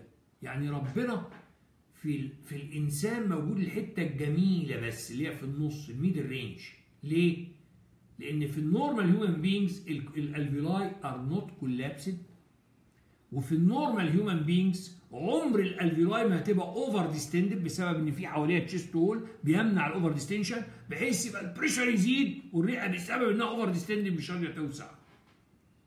وده وعد إله مش ربنا قال إن هو هيجازي كل من أحسن عملا. يعني أدام تعمل عمل كويس لازم ربنا يجازيك. تصور. حتى في النفس. مفيش مرة هتحرك ال chest wall وتعمل pressure change تخلي ال intrapleural pressure more negative من غير ما ربنا يجازيك يزود لك ال volume يعني كل مجهود هتعمله. بإنك تخلي ال intrapleural pressure more negative هيقابله زيادة في ال volume كل ما تعمل عمل حتى في النفس يا ربي آه أجازيك حتى عن التنفس. هشيل لك في الإنسان الحتت الوحشة. مش ده يدل يا أولاد؟ أنه وراء الخلق خالق. ده ال curve في حالة غير طبيعية. excised lung رئة خدناها بره ال chest wall وعملنا تجربة. لكن رئة جوه ال chest wall ال alveoli مش collapsed يبقى الحتة دي اتشالت. وبسبب ال chest wall عمرها ما هتبقى over distended فالحته دي. اتشالت يبقى انت واخد الحتة الحلوة اللي في النص بس. ده التأمل. ثم two notes مهمين جدا يا أولاد في ال MCQ ال curve أحسن في حالة ال deflation ولا ال inflation؟ انت فهمت. ال deflation أعلى. وشرحت لك ليه. ال compliance عاوزة توسع عكس ال elasticity وال surface tension يبقى اللي يقلل ال surface tension يزود ال compliance واللي يزود ال surface tension اهي ينقص ال compliance في ال expiration سهلة خالص. الرئة بتصغر ال small alveoli بتصغر فتركيز ال surfactant يزيد فال surface tension يقل. فال compliance تزيد. عشان كده ال curve الأزرق بتاع ال inflation أعلى. بينما بالعكس لما الرئه توسع اللي جواها تركيزه بيقل. فال surface tension في ال inspiration يزيد وبالتالي ال compliance تقل. وعشان ده سؤال مهم جدا. عشان كده ال curve بتاع ال deflation أحسن من ال inflation وعشان كده لما بيجوا يقيسوا ال compliance بيقيسوه بان هم يشوفوا ال slope درجة انحدار ال deflation curve ما إحنا قلنا لو ما فيش slope خالص زي هنا وهنا يبقى فيش compliance ما بتوسعش. ال pressure بيزيد وال volume ما بيزيدش. يبقى no slope no compliance ال slope الانحدار هو اللي بيقيس ال compliance ال slope أحسن في حالة مين؟ ال deflation طب سؤال تاني هيسألك في الشفوي وفي ال MCQ في ال saline filled lung لو lung مليتها ب saline ال curve يطلع أحسن ولا أوحش؟ اوعى تغلط أحسن. لأن لما تملاها saline مفيش مواجهة بين الهواء والمية. There is no water air interface. وعليه وعليه.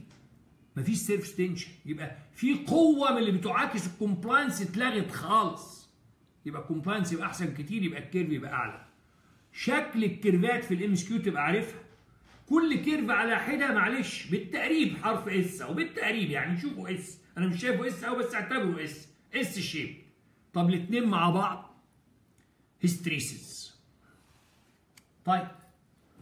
ننتقل يا أولاد للحتة اللي بعدها. في عندي static curve و dynamic curve خد بالك دي من الحتت المهمة ال compliance عاوزين نعرفها مع بعض كويس. في static curve وفي dynamic curve static lung compliance curve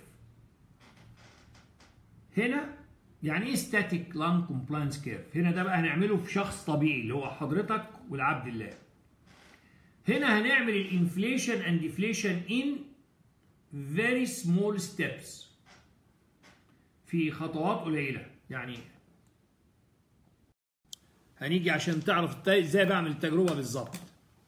أنا عاوز أقيس حاجتين ال volume وال pressure ال volume بنقيسه إزاي بال spirometer يعني هاخد الهواء من ال spirometer فأقدر أحسب خد 100 200 300 400 يبقى باخد ال volume in steps وفي كل مرة بقيس ال pressure اللي هو مين هو ال distending pressure إحنا قلنا alveolar ناقص pleural طب ال alveolar صفر. يبقى هو ال pleural خلاص؟ طيب بس نقفل ده شوية لأنه هيعكس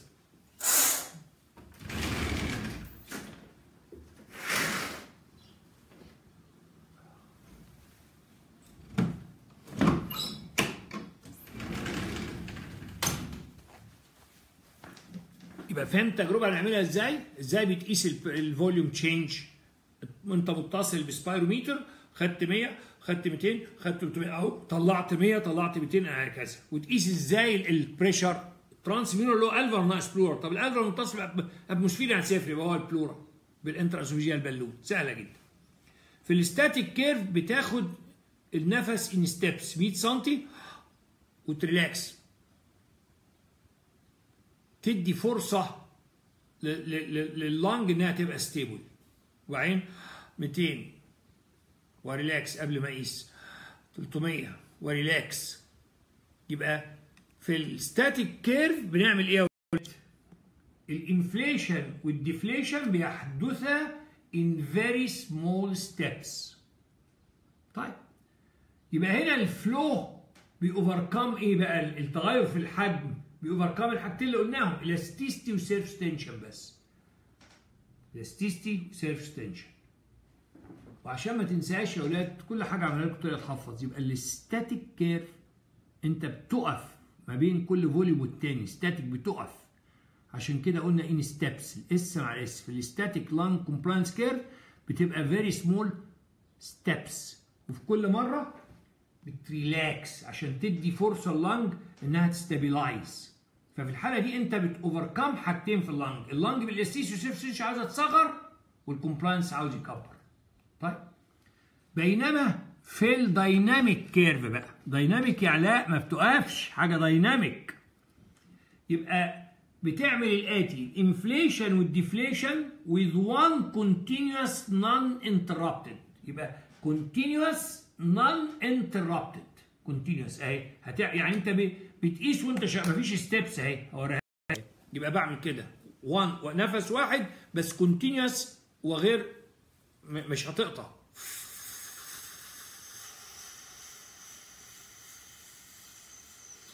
شوف dynamic مش مش باخد نفس واقف.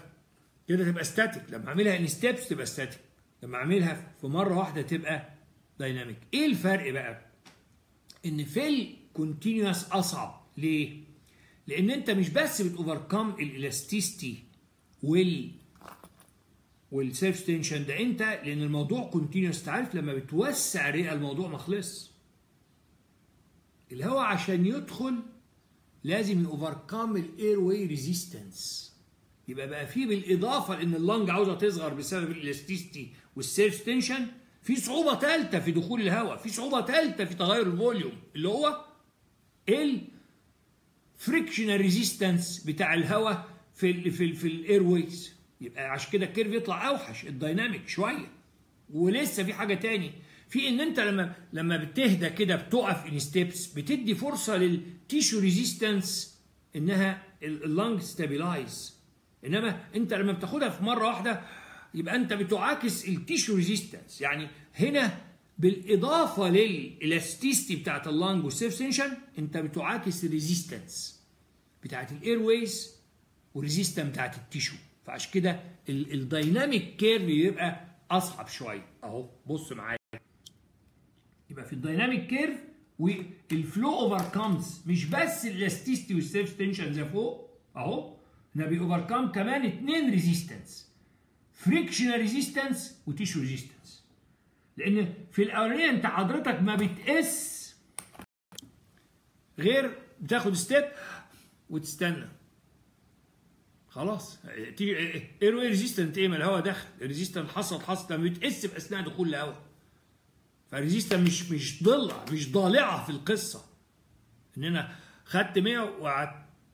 وبعدين بدأت أقيس ال change في ال volume وال change في ال pressure يبقى لغيت ال airway resistance وال tissue resistance إنما لما بتاخدها في نفس واحد continuous all the time في resistance بتاع دخول الهواء حاجة dynamic ده resistance بيعوق اتساع الرئة بالسرعة الواجبة وال tissue resistance يبقى ال static بتجابه حاجتين بس.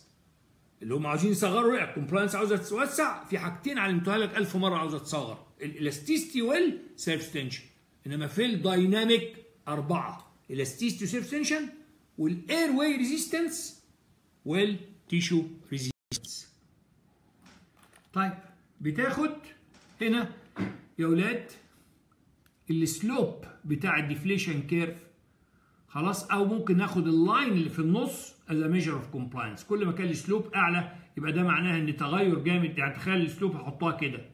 يبقى التغير أكبر في ال volume بتغير أصغر في ال pressure كل ما ال curve ينام كده يبقى التغير في ال volume صغير وال pressure كبير.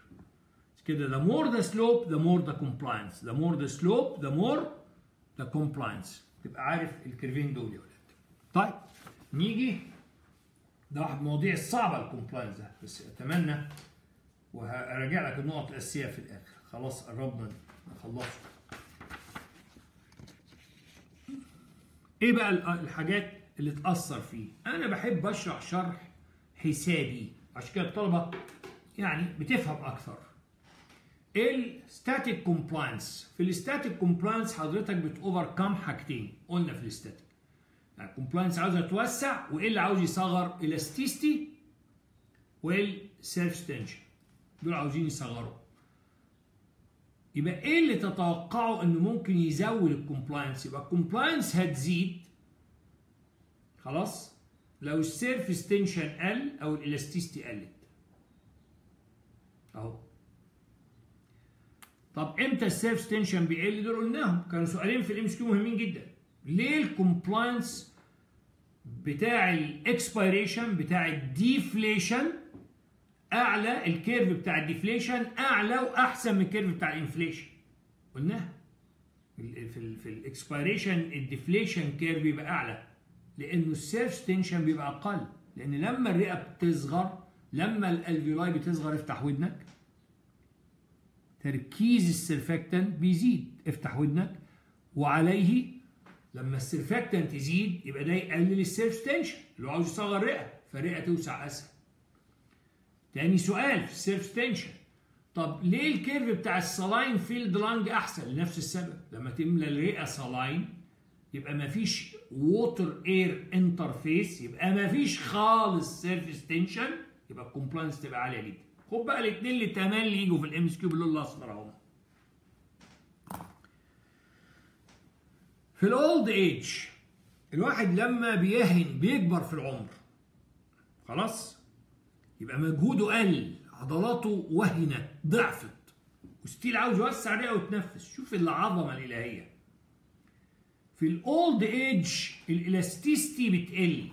definitely لأن كنتيجة لاستخدام الرئة لسنوات طويلة ال elasticity قلت فلما ال elasticity تقل الكومبلاينس تزيد. ده من أهم الأسئلة. بقولها بطريقة لطيفة أهو. عشان ما تنساش ابدا. من الحياة يا أولاد؟ شوية خيال. فاكر سعيد صالح رحمه الله لما كان بيقول لك شراب أستك منه فيه؟ شوية خيال. أول ما تشتري الشراب جديد حضرتك عاوز تدخل رجلك. فتعمل إيه؟ توسع الشراب. مش كده؟ شوف شراب مفيش مشاكل. يلا عشان ما تنسوهاش. ما كنتش ناوي أعملها كده. الموضوع صعب شوية صعب نجيب واحد اقدم شوية. مفيش مشكلة.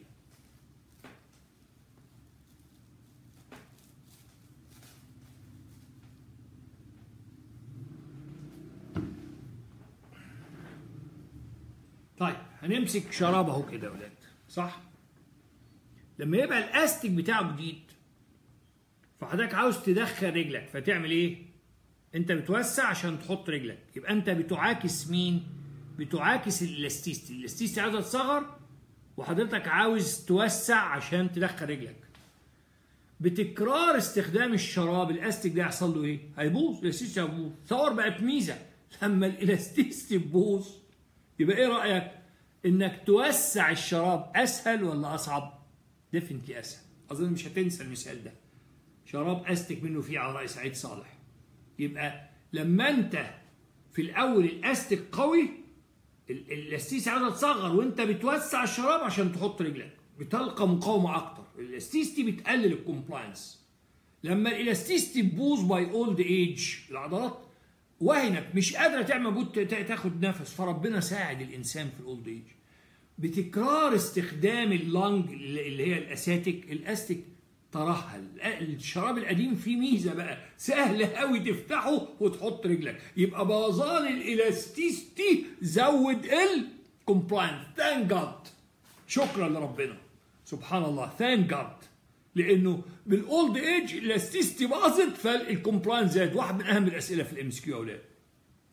طيب التاني منه هل في مرض مرض يزود؟ آه الواحد معتاد الأمراض تقلل. مرض ال emphysema. خلاص؟ في ال emphysema اللي هي مرض اتساع الرئة. بسبب إيه؟ فقدان ال elasticity. في الناس ال chronic heavy cigarette smoker اللي بيشربوا سجاير كميات كبيرة بيبوظوا ال elasticity بتاعت الرئة. لما يقل ال elasticity هنا ال compliance تزيد في ال emphysema تصور يبقى نقص الاس أدي مرض أهو يبقى اوعى تغلط في ال MCQ هجيبها لكم السؤال المرة الجاية. في ال emphysema ال compliance بتزيد. كنتيجه لنقص إيه؟ ال elasticity لكن في نقطة مهمة يا ولاد.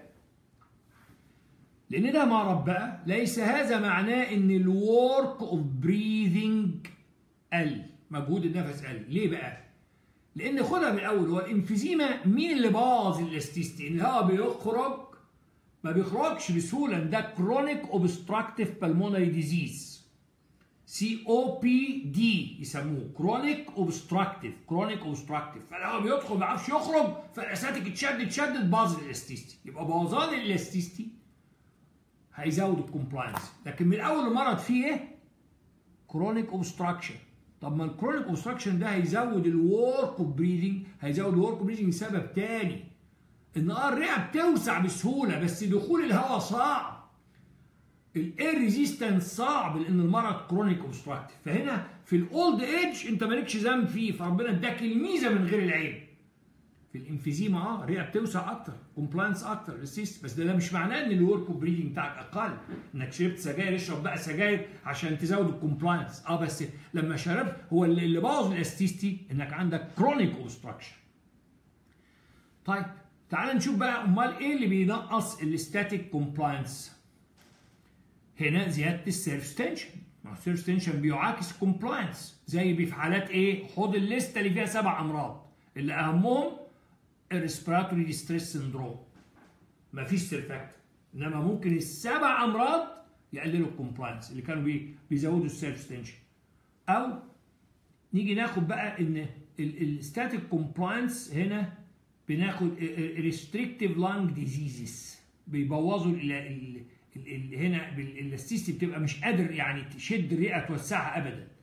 بسبب واحد عنده fibrosis في الرئة أو عنده pulmonary congestion fibrosis أو pulmonary congestion أو chest diseases compliance بتقل زي في واحد عنده obesity ال chest wall ما بيوسعش بسهولة. أو ال joints arthritis التهاب في ال joints بتاعت ال ribs والحاجات دي. أو kyphoscoliosis يعني تحدب. الناس اللي عندها تحدب عارف الأحدب؟ كل ده بينقص ال compliance يبقى ال static compliance طبعا السؤال بيجي اللي هو غير متوقع. إمتى ال compliance تزيد أصل دول غير متوقعين. تصور لأن اللي مش مذاكر مش هيعرفها بتزيد مع ال old age بسبب إن الشراب القديم ما فيهوش ال elasticity فسهل توسعه وتدخل رجلك. وال emphysema اللي هو مرض اتساع الرئة حتى emphysema عن اتساع الرئة بسبب فقدان ال elasticity وإن كان هنا ال work breathing بيزيد لأن سبب اتساع الرئة من الأول كان ال chronic obstruction طب إيه اللي بينقص ال compliance إن ال surface tension يزيد ده اللي بيجي كتير قوي اللي هو respiratory syndrome وبقية ال list ة اللي فيها السبعة. وبعدين يا lung disease يا chest disease lung disease ال lung غير قابلة للاتساع لأن ال lung حصل فيها fibrosis زي في السل. tuberculosis أو pulmonary congestion احتقان الرئة congestion احتقان بالدم. أو chest disease يا إما في ال muscles أو في ال bones.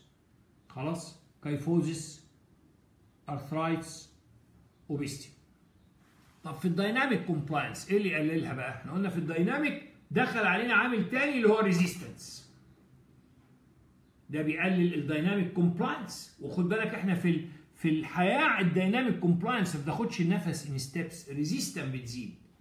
ال airway resistance زي في حالة حالة acute زي ال bronchial asthma أو ال rapid breathing لما تنفس بسرعة الاحتكاك الهواء هو داخل بيزيد. يبقى resistance زادت زي في ال bronchial asthma أو ال rapid breathing طيب يبقى ده يا ولاد الموضوع ال compliance فاضل لي دقائق وأقفل. فأقوله في عجالة تاني عشان نشوف القصة. تعالى نجمعه تاني في عجالة كده.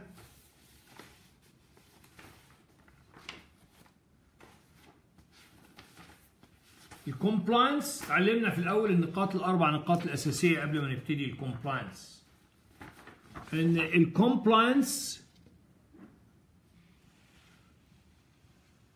compliance is a ratio between change in volume to change in pressure اوعى تنساها compliance is a ratio a ratio between change in volume to change in pressure او هي عباره عن اليونت الفوليوم تشينج for each unit pressure change تمام دي حاجه طيب النقطه الثانيه what pressure انت بتعني انهي pressure اللي بتتكلم عليه أنا بتكلم على transmural pressure. من هو distending pressure ال difference between ال inside وال outside اللي هو يسموه transmural اللي هو في حاله ال alveolar ناقص pleural النقطه الثالثه مهمة جدا في ال MCQ compliance is a measure of distensibility. صح. قابليه اتساع expansibility. صح. قابليه اتساع but not not elasticity. ال elasticity عاوزة تصغر ال compliance عاوز يكبر. مين اللي عاوز يصغر بقى نجمعهم؟ ال elasticity و surface tension compliance عكسهم. عشان كده لما بيبوظ ال elasticity ويقل ال surface tension ال compliance بتزيد. النقطة الرابعة ال normal standard ال lung لوحدها وال chest wall لوحده حاجة لوحدها 0.2 200 مللي يعني 0.2 لتر لكل سنتيمتر water pressure الاثنين مع بعض الاثنين 0.1 100 مللي اللي هي 0.1 لتر سنتيمتر water pressure دي الأربع نقاط الأساسية وده تبقى عارفها كويس قوي طيب نيجي بعد كده. قلنا هناخد ال excised lung فتابعنا فيها الاتي قلنا عملناها إزاي؟ اللقطة اللي خدنا الرئة بره. لاحظنا ال curve at low pressure وحش ليه؟ بزود ال pressure ما بتتسعش. طب راح فين ال pressure ده؟ بي open ال collapsed alveoli at high pressure وحش بزود pressure الرئه ما بتتسعش. ليه؟ لأن ال ال ال الرئة is already over distended يبقى الحتة الحلوة فين؟ ال middle range أي زيادة في ال pressure بيجازيك عليها ربنا زيادة في ال volume طب أنت جوه ال chest wall الرئة بيطبق عليها مين؟ ربنا شال لنا الحاجات الوحشة. لأن ال alveoli مش collapsed وبسبب ال chest wall عمرها ما تبقى over distended شوف العظمة. طيب يلاحظ ما يلاحظ حاجتين هنا. إن ال pressure volume not linear شكله S shaped سواء inflation أو deflation الاثنين مع بعض شكلهم hysteresis طيب دي أول ملحوظة. تاني ملحوظة إن ال deflation curve أعلى من ال inflation ليه؟ لأن ال surface tension during expiration أقل اللي هو عاوز يصغر فال compliance تبقى أعلى. وعشان كده الأحسن منه ال saline filled line تمام؟ ده النقطة الثانية طيب في كام curve لل compliance compliance عندي curve ين في static compliance curve ده مش مش واقعي قوي لأن إحنا ما بناخدش النفس in steps إن عشان كده ال static لانج كومبلاينس كيرف الانفليشن والديفليشن بناخدهم ان فيري سمول ستيبس الستاتيك بناخد النفس ان ستيبس الاس مع الاس وبتستنى لما اللنج ستابيلايز وبعدين تقيس التاير في الحد والتاير في البريشر إيه الميزة هنا؟ إنك أنت بتوفركم حاجتين بس. اللنج عاوزة تصغر بالاسيس تنشن والكومبلاينس عاوز يكبرها لكن لغيت الريزيستنس خلاص أنت سبت لما تستابيلايز. بينما في ال dynamic curve لما بتاخد 1 continuous 1 continuous not interrupted inflation deflation آه يبقى الهواء داخل. داخل وانت شغال. الهواء ده فيه friction resistance لل air وفيه tissue resistance يبقى أكتر. عشان كده ال dynamic بيبقى فيه مقاومة أكتر عن ال static دي النقطة اللي بعد كده يا ولاد. طيب. نيجي قلنا بقى إيه الحاجات اللي بتزود وإيه الحاجات اللي بتنقص. وقلتها لكم بطريقة لا تنسى وسهلة جدا جدا جدا. تعالى بس نشوف الورقة راحت فين أهي. آخر ورقة. أهي. ال compliance عاوزة توسع بينما ال elasticity وال surface tension عاوزين يقللوا. يبقى في ال static compliance إمتى تزيد؟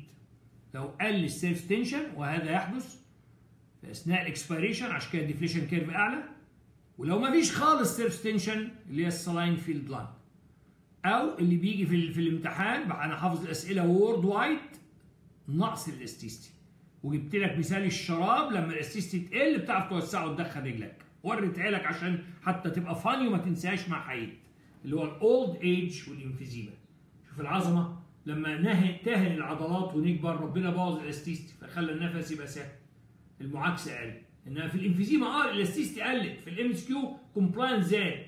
بس مجهود زاد لسبب تاني لأن ده chronic obstructive chronic في obstruction أما ال static compliance إمتى تقل؟ لو surface tension زاد السبع حاجات اللي كانوا بيزودوه أهمهم respiratory distress syndrome أو في restrictive lung diseases اللي هما pulmonary congestion احتقان الرئه و fibrosis. الرئه توسع إزاي؟ وهي fibrosed تحولت لنسيج ضام. مش مش صعب جدا توسع. أو في مرض في ال chest wall زي ال obesity بيبقى مش عارف ياخد نفسه. شخص تخين. خلاص؟ وال arthritis التهاب ال joints وال kyphoscoliosis طب بينما ال lung compliance قلنا اتضاف عليها حاجتين.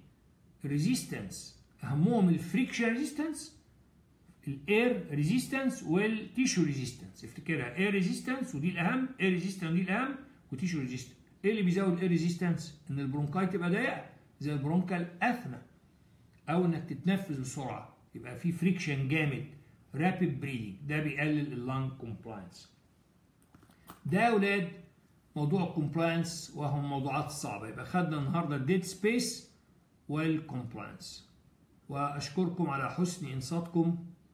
ويعني أتمنى أكون أفدتكم ونلتقي بالتبادل ال circulation مع respiration. Thank you for good listening وأسعد الله أوقاتكم ونلقاكم قريبا بإذن الله شكرا